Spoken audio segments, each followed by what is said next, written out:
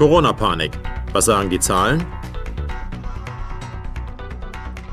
Liebe Zuschauer, nur wer die absoluten Sterbezahlen der Länder betrachtet, kann zu einer rechnerisch korrekten Bewertung der Gefahr kommen.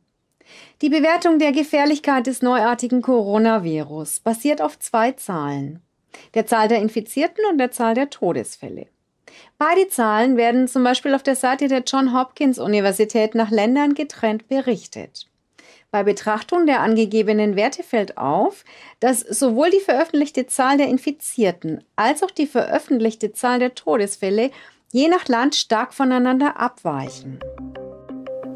Während China mit 1,4 Milliarden Menschen bisher 81.058 Infizierte meldete, von denen 3.230 an Corona gestorben sein sollen, weist Indien mit 1,37 Milliarden Menschen 142 Infizierte und ganze drei Corona-Tote aus.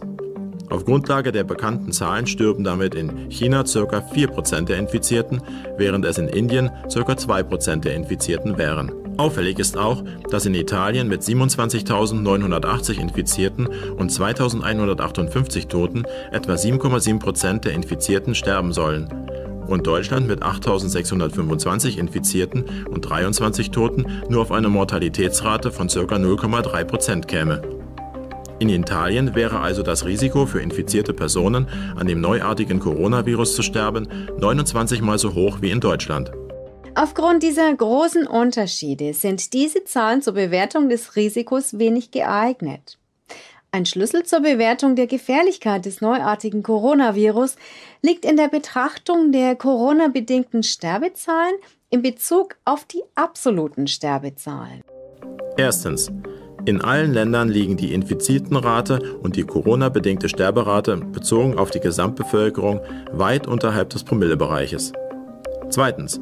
Unter Zugrundelegung, dass 2020 in Deutschland ähnlich viele Menschen pro Tag sterben wie 2018, neuere Daten liegen nicht vor, müssten wir im Jahr 2020 von 201.432 Toten bis zum 17. März 2020 ausgehen. Dies entspricht 2616 Toten pro Tag in Deutschland.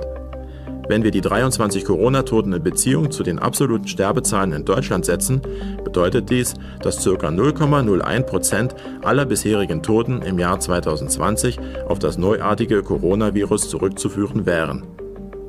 Ob diese Zahlen auf eine erhöhte Gefahr hindeuten, lässt sich durch den Vergleich zur alljährlich auftretenden Influenza-Welle ermitteln. In Deutschland werden vom 1. Januar 2020 bis zum 17. März 2020 bisher 247 Tote auf das Influenza-Virus zurückgeführt.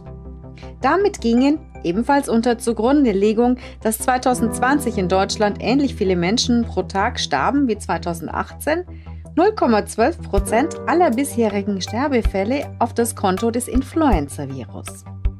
Im Vergleich der Zahl 0,01 Prozent Corona-Tote mit 0,12 Prozent Grippetote ergibt sich, dass es ca. zwölfmal wahrscheinlicher ist, an der Grippe zu sterben, als an der Infektion mit dem neuartigen Coronavirus. Trotzdem sehen wir beim Durchzug der jährlichen Grippewelle keine Maßnahmen, die mit den historisch beispiellosen Einschränkungen aufgrund der Corona-Pandemie zu vergleichen wären.